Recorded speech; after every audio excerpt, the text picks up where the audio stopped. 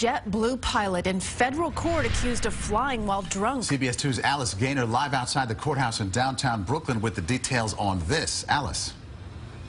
Maurice and Christine, Dennis Thomas Murphy Jr. was arraigned here in federal court just a short time ago after being arrested this morning at his home in New Jersey. Now, we're outside the courthouse uh, waiting to see if either he or his wife or father who is in court might come outside. He was released on bond, $50,000 bond. Now, last April, the JetBlue pilot was pulled from his second flight of the day for random alcohol testing. The breath alcohol test showed he had a concentration of 0.111%.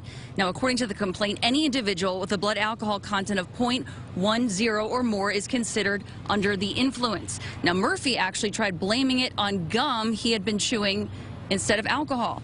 Now, his co-pilot saw Murphy drinking an unknown beverage from a cup before and during both flights that day. Now, his first flight that day was from JFK to Orlando, had 119 passengers on board. The second was from Orlando back to JFK.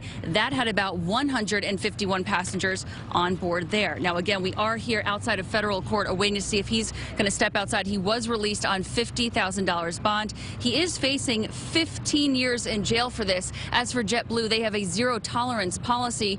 Murphy resigned last year before his disciplinary hearing. They also terminated him. We're live outside of federal court here in Brooklyn. Alice Gainer, CBS 2 News. Alice, thank you.